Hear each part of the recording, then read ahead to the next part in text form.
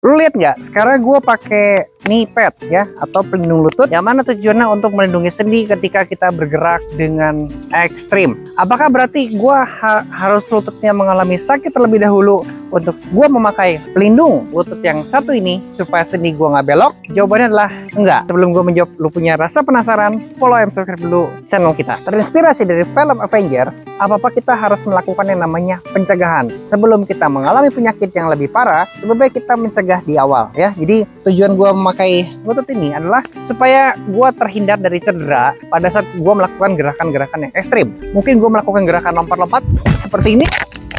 Oke, seperti itu dan waktu turun turun yang pas tapi karena gue dilindungi sama ini pet maka gue merasa lebih aman dan harusnya tadinya cedera jadinya nggak cedera karena arahnya dibenerin sama si pelindung lutut yang satu ini. Lakukan pencegahan karena pencegahan lebih murah tapi kalau sudah kejadian maka biaya akan lebih mahal dan penderitaan akan lebih sengsara